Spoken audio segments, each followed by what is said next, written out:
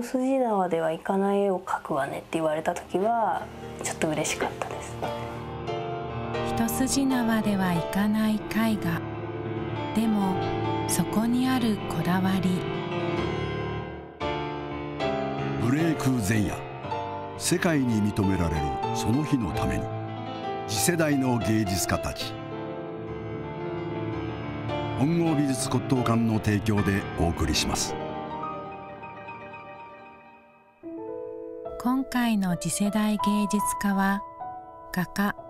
柴田奈美。大学で絵画を学んだ彼女。しかしプロとして歩み出すには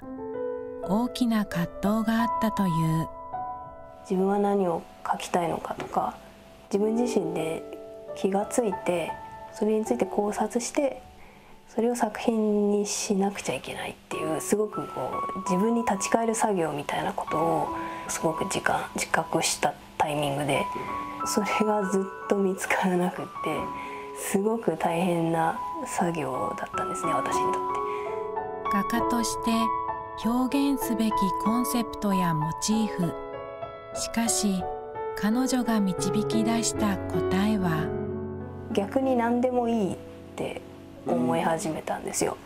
自分は何を書くかっていうよりはどう書くかっていうことにすごくこだわってるなっていうことにその時に気がついてでそのモチーフが何だ何であるかっていうことがむしろその描く行為の邪魔をしてるというかいらない情報だったんだなって思ってでそれからはモチーフっていうものは筆を動かすためのただの形。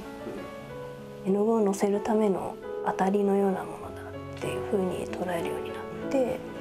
そういうスタンスを自覚し始めてから逆にモチーフを自分で作るようになってきてでモンタージュっていう作品を書いているんですけどモンタージュはいくつかの要素を組み合わせて一つの像を作るという意味なんですけどでそうすることによって誰でもない肖像になるのでなんかそれは各行為を邪魔することのない人の形をした図図面図面というか画像であるっていうことで今のところ自分の中ではすごくしっくりきてるモチーフなんですね。情報を減らし最小限のディテールで描き続けるそんな柴田奈美のブレイク前夜なんかやっぱり何を描くかっていうよりはどう描くかっていうところでなんかその描いていく中であいい感じだっていうちょっとこうグッとくる瞬間があってなんかそこを目指してるところがあります。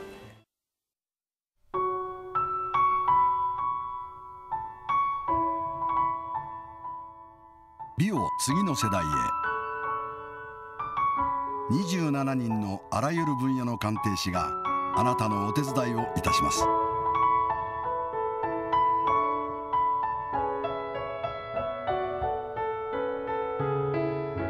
東大赤門前